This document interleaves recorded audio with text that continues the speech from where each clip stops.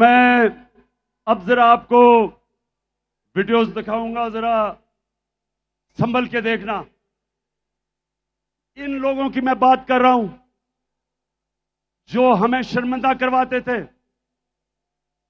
जिनको अपनी तो इज़्ज़त नहीं थी, कौम की भी इज़्ज़त मिट्टी में लगा देते थे। तो सबसे पहले हमारा डिफेंस मिनिस्टर और फॉरेन मिनिस्टर वो जरा अमेरिका के मुतालिक क्या कह रहा है, जरा दिखाओ।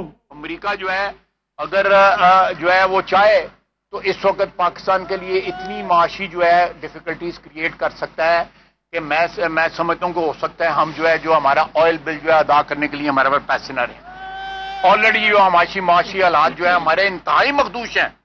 ये सारे वेंटिलेटर जो है ना, ये लगे हुए हैं अमेरिका की मर्ज़ी से लगे हुए हैं। अमेरिका चाहे तो ये सारे के सारे जो हम, जो इस वक्त ड्रिप्स लगी हुई हैं या वेंटिलेटर लगे हैं।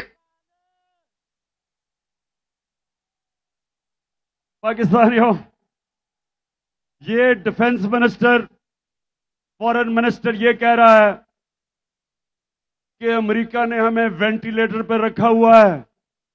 जब चाहे वो खींच दे और हम मर जाएँगे।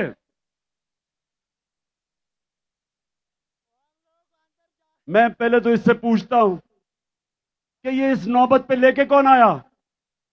तीस साल तो तुम दो खानदान इस मुल्क के ऊपर हुकूमत कर रहे थे। वेंटिलेटर पे डाला किसने? इस मुल्क का खुद पैसा चोरी करके बाहर महलात, अरबों डॉलर्स की प्रॉपर्टीज़, बैंक अकाउंट्स, सारे शाहाना लाइफस्टाइल और कौम को मकरूज कर दिया। कौन जिम्मेदार है? तो पहले हमें मकरूज किया। अब हमें कहता है कि अगर हमने अमेरिका की गुलामी ना की तो हम मर जाएँगे। अब जरा मौजूदा प्राइम मिनिस्टर, क्राइम मिनिस्टर, जरा इसकी, जरा सुने, जरा ये क्या फरमाते हैं मुल्क का प्राइम मिनिस्टर। मैं सऊदी अरब से होके आया हूँ मैं यूएई के होके अभी मैं तुर्की होके आया हूँ। और मैंने उन भाइयों को कहा कि आप हमारे बड़े अजीम भाई हैं हमेशा आपने हमारी मदद की। और मैंने यही कहा जब अ, मैं आया हूँ तो आप समझे आप समझेंगे शायद ये मांगने शायद ये मांगने आया है मैं मांगने नहीं आया लेकिन मजबूरी है। हमारा जिस तरह माजी में पचहत्तर साल में आपने हमारा हाथ बटाया है कुछ अर्सा आप हता हाथ बटा मैंने कहा मैं वादा करता हूँ कि इंशाल्लाह हम पूरी कौम हम मिलकर दिन रात मेहनत करेंगे पसीना कराएँगे अपने पाँव पे खड़े होंगे। अब मुझे बताएँ। पाकिस्तानियों, मुझे बताएँ आप कि जब आप मुल्क का प्राइम मिनिस्टर और उस मुल्क का डिफेंस मिनिस्टर ये कहते हैं कि अमेरिका के बगैर हम जी नहीं सकते तो मुझे बताएँ आप सबकी क्या इज़्ज़त होगी? हरे पासपोर्ट की दुनिया में क्या इज़्ज़त होगी? जिस मुल्क के प्राइम मिनिस्टर भिकारियों की तरह फिरते हैं।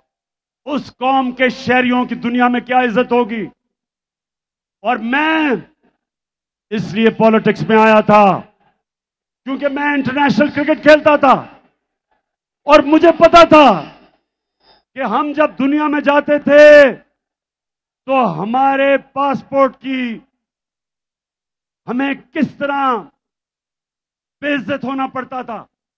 वो इसलिए कि जब हुक्मरान भिकारियों की तरह अपनी बाहर जाते दें डॉलर्स बाहर और मुल्क को मकरूज करके और फिर झुके सामने।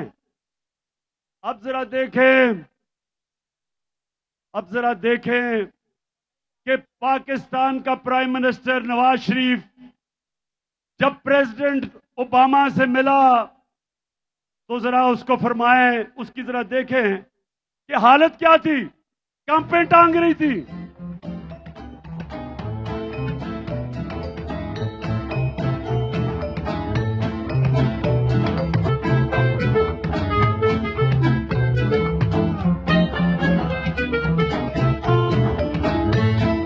I thank you once again and look forward to welcoming you and Mr. Obama, uh, Mrs. Obama in Pakistan.